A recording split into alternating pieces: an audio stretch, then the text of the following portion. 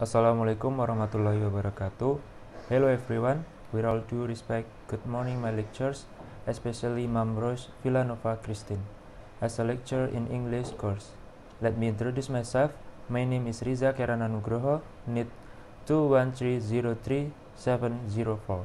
I am a student majoring in D4 Land at the Yogyakarta National Land College. As we know, the spread of COVID-19 has become a concern for many people.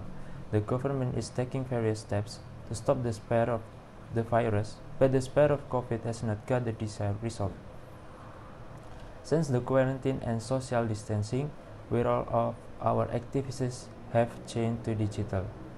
At first, we feel comfortable because we have more time together with family, but with a long time, everyone starts to feel bored and many people violate health protocols and then causing COVID-19 case to increase. In this situation, students are required to be active in the learning process. The application of digital technology in education is increasingly advanced.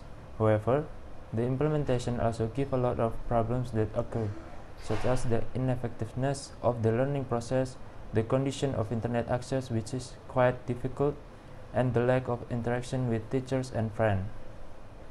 Therefore, students are required to follow the learning process as well as possible in order to get good results.